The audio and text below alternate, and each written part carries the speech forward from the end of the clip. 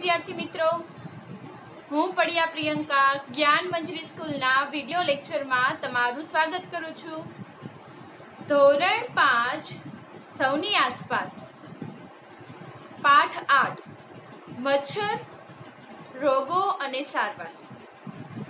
આપણે પહેલા લેક્ચરમાં પાઠ આઠના જે પહેલો લેક્ચર હતો, તેમાં આપણે મચ્છરથી થતા રોગો વિશેની થોડીક માહિતી મેળવી હતી. હવે તેમાં આગળ વધીએ. અગાઉના ટોપિકમાં આપણે મેલેરિયા વિશે માહિતી મેળવી હતી અને બ્લડ રિપોર્ટ કઈ રીતે કરવામાં આવે છે એ પણ આપણે જાણ્યું હતું. હવે ટોપિક છે એ છે પોરા, એટલે કે બાળ મચ્છર. તમે ઘરની અંદર જો કોઈ ફળિયામાં કેમ ખુલ્લું પાણી પડ્યું હોય, ટાંકામાં કેમ, તો તમે એમાં ક્યારેક જોજો, મમ્મી એમ બોલશે કે એમાં પૂરા પડી ગયા. એ પૂરા એટલે કે બાળ મચ્છર. તે ઝીણા ઝીણા તાંતણા જેવા હોય છે અને એ પાણીમાં તરતા હોય છે. તો ચલો, હવે આપણે પોરા વિશે માહિતી મેળવીએ. આપણા, હવે હરપ્રીત છે એ શું બોલે છે? હરપ્રીત કહે છે આપણા વર્ગની બહાર પોસ્ટર, શેનું પોસ્ટર છે? તો કે મેલેરિયાનું પોસ્ટર લગાવેલું છે. બધા બહાર જોવા જાય છે. જો આ રીતનું પોસ્ટર હોય છે, એ લગાવેલું છે ત્યાં. તમે મચ્છરને આમંત્રણ આપો છો? સાવચેત રહો. તેઓ મેલેરિયા, ડેન્ગ્યુ, ચિકનગુનિયા ફેલાવે છે. તમારા ઘરની આસપાસ પાણી એકઠું ન થવા દો. ખાડાઓ પૂરી દો. પાણીની ટાંકી, કુલરનું પાણી બદલો અને પાણીના ઘડા ચોખ્ખા રાખો. તેને દર અઠવાડિયે સૂકવવા જોઈએ. તમારી જાતને બચાવવા મચ્છરદાનીનો ઉપયોગ કરો. જો કોઈ જગ્યાએ પાણી ભરાયું હોય, તો કેરોસીનનો છંટકાવ કરો. હવે આમાં એમ કહ્યું છે કે મચ્છર છે એના દ્વારા મેલેરિયા, ડેન્ગ્યુ અને ચિકનગુનિયા નામના રોગનો ફેલાવો થાય છે. અને એનું કારણ એમ કહ્યું છે કે તમારા ઘરની આસપાસ જો પાણી એકઠું થયેલું હોય, તો એ પાણી એકઠું થયેલું હોય, તેને વાસણ હોય તો એ વાસણને સાફ કરી દો ખાડામાં હોય તો ખાડા પૂરી ભરી દો. અને મચ્છરદાનીનો ઉપયોગ કરવાનું કહે છે અને મચ્છરથી બચવા માટેની દવાનો યુઝ કરવાનો કહેવામાં આવ્યું છે. ચિત્રની અંદર જો ટાંકી આપેલી છે, કુલર આપેલું છે, પછી ડંકીની આસપાસના ખાડામાં પાણી ભરાયેલું છે, એ છે અને કુંડાઓ છે. આ વસ્તુઓ, આ ચિત્રો એવા છે કે જેમાં પાણીના ભરાવા થવાનું અને પાણી છે એ સ્થિર રહે. ભરાવો તો ઠીક, પણ પાણી કેવું રહે છે? એની સપાટી હોય સ્થિર રહેતી હોય. તો પાણીની સપાટી જે સ્થિર રહેતી હોય તો ત્યાં મચ્છર છે એ પોતાના બચ્ચા મૂકે છે, ઈંડા મૂકે છે. અને એ ઈંડા છે એ મોટા થઈ અને મચ્છરનું રૂપ લે છે.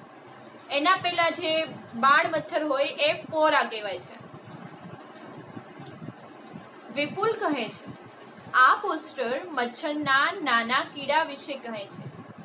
તે શું છે? તે મચ્છરના બચ્ચા છે, પરંતુ તે મચ્છર જેવા દેખાતા નથી એવું નિશા કહે છે. આરતી શું કહે?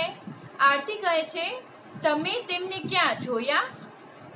નિશા હવે એનો જવાબ આપે છે, અમારા ઘરની પાછળ એક જૂનો ઘડો પડ્યો હતો. તે થોડા દિવસ પાણીથી ભરેલો રહ્યો.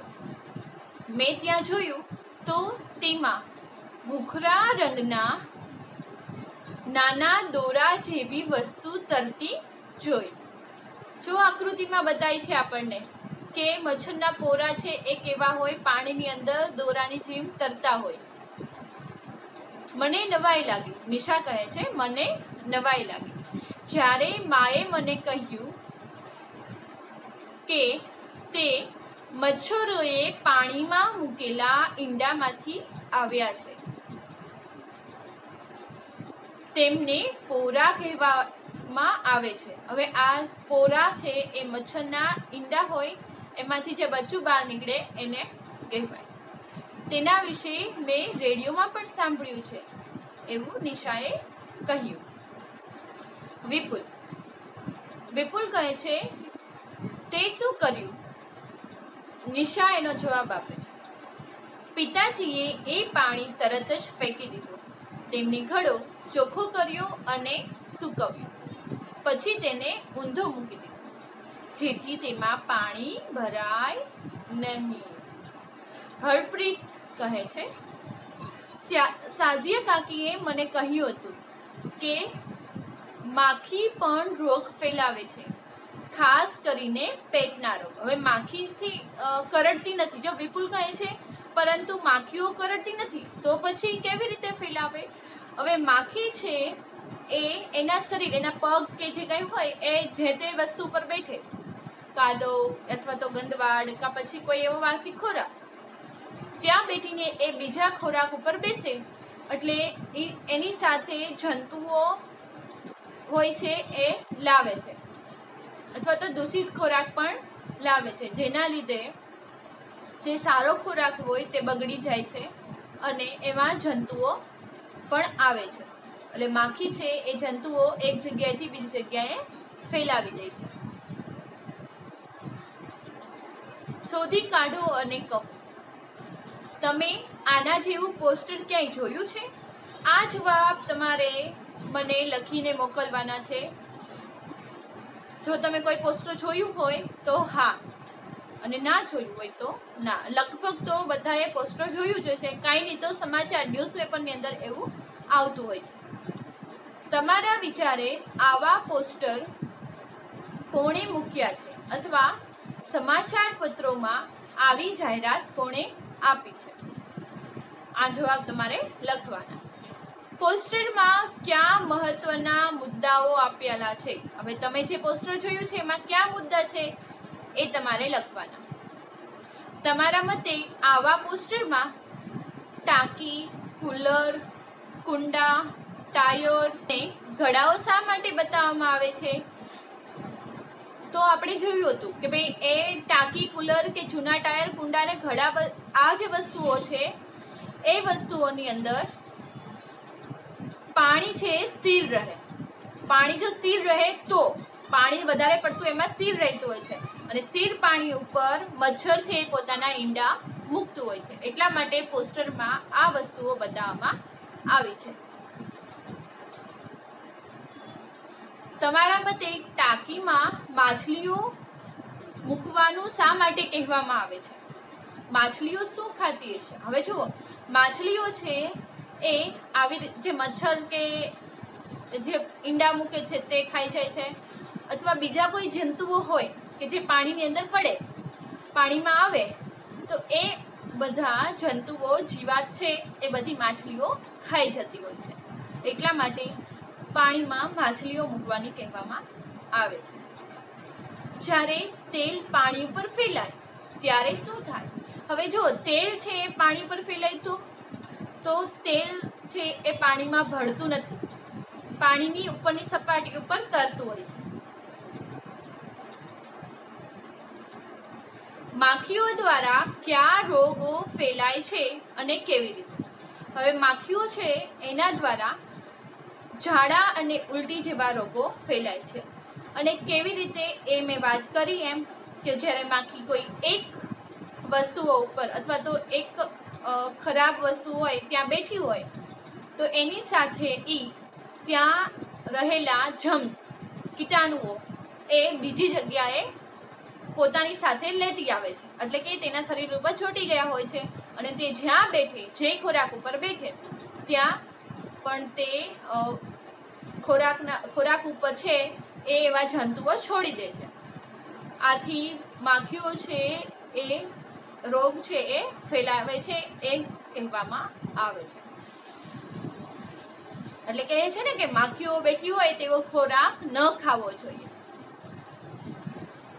મચ્છરની તપાસ.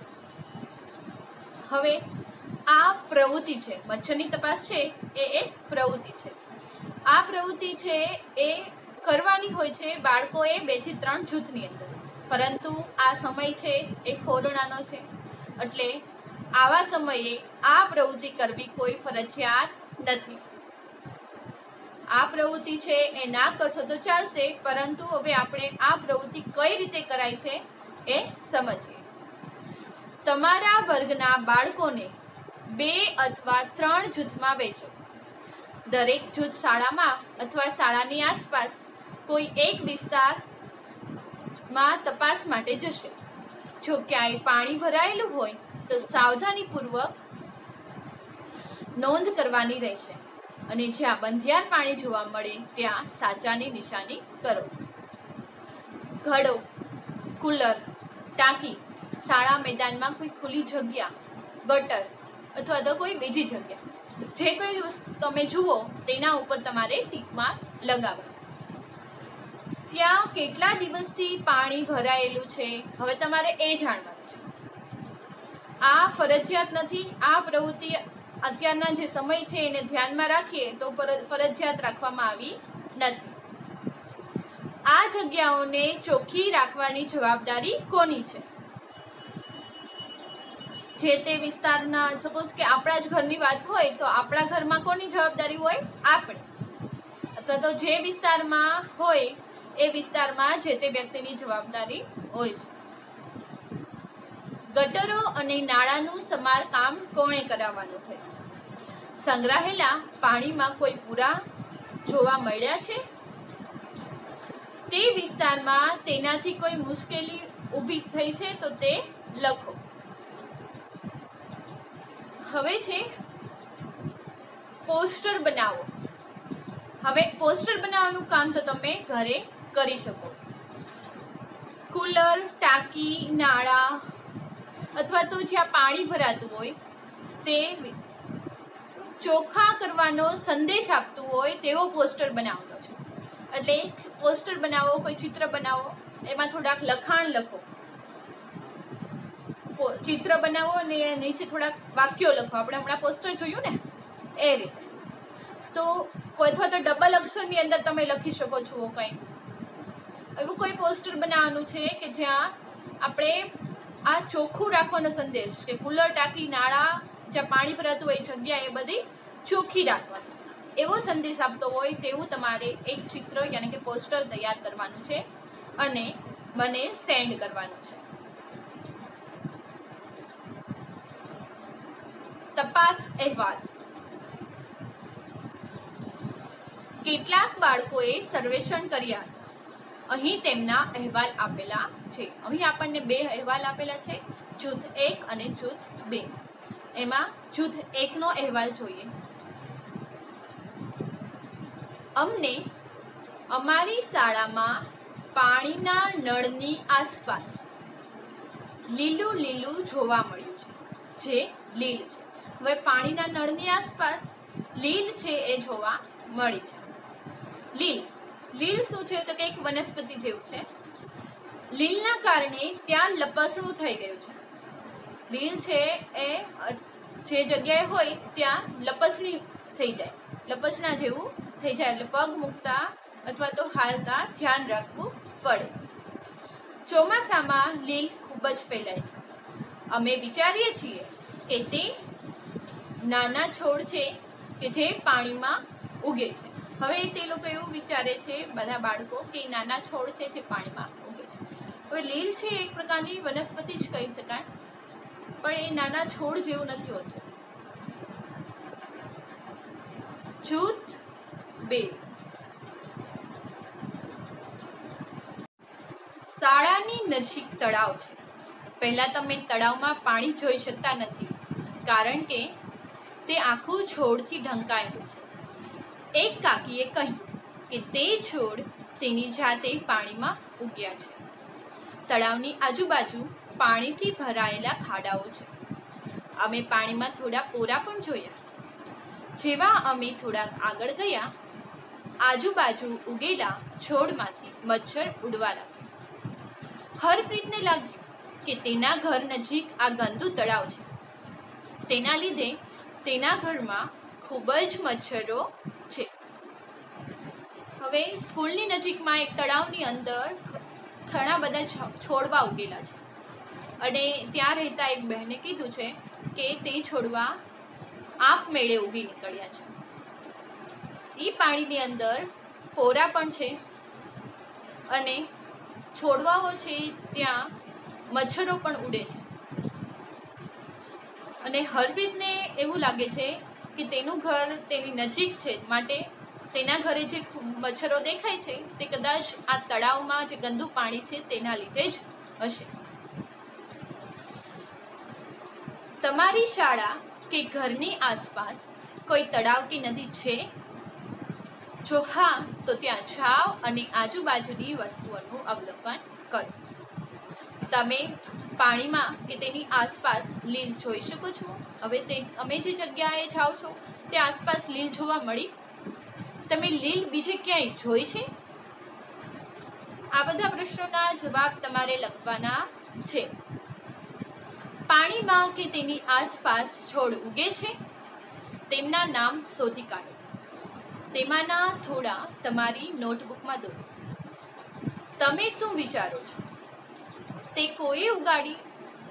ઉગાડ્યા હશે? કે તેની જાતે ઉગી નીકળ્યા છે? તો તેની જાતે જ ઉગી નીકળ્યા હશે. તમે પાણીમાં બીજું સુઈ જોઈ શકો છો, તેની યાદી બનાવો. હવે પાણીમાં તમને બીજું શું દેખાય છે એ તમારે યાદીમાં લખવાનું. હવે આપણને એક વાર્તા આપેલી છે, જેમાં રોનાલ્ડ રોસ વૈજ્ઞાનિકની છે. વૈજ્ઞાનિકે મચ્છરના પેટની ઝાંખી કરી. જાણવા જેવી વાત છે.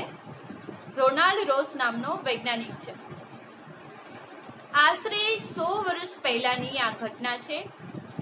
એક વૈજ્ઞાનિકે મચ્છરો, મેલેરિયા ફેલાવે છે એમ શોધ્યું.